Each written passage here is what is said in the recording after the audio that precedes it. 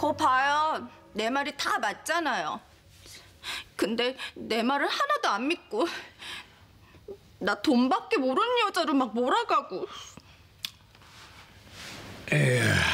길에서 미안하다고 하지 않네. 치, 미안하다고 말만 하면 끝인가?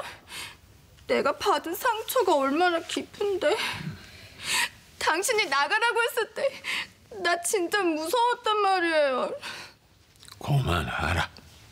그만하고 저 금고나 열어보라.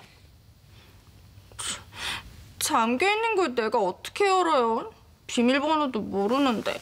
자네 생일이야. 네? 저 금고 비밀번호 자네 생일이라고. 어, 여보. 그럼 내가 10월 25일이니까 1025?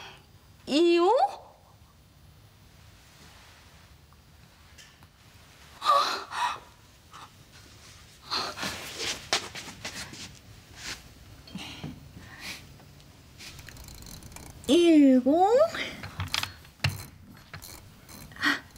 이오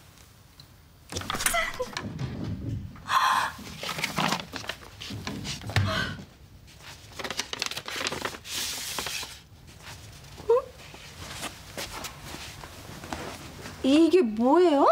너는 님자 앞으로 달랑 양평 별장만 남길 줄 알았어? 자네 몫으로 남긴 무기명 채권이야. 아, 여보. 정우랑 승...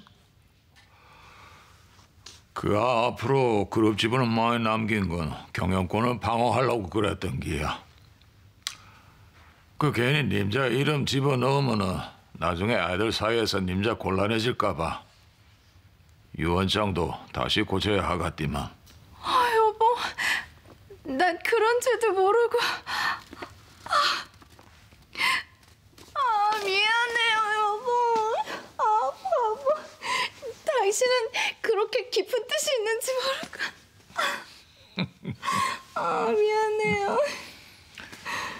기래 기래. 근데 내래 한 가지 부탁이 있다. 뭔데요? 말씀만 하세요. 다 할게요. 희애 말이야.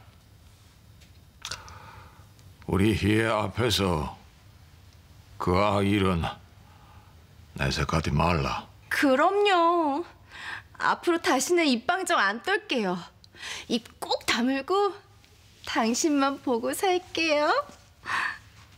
여보.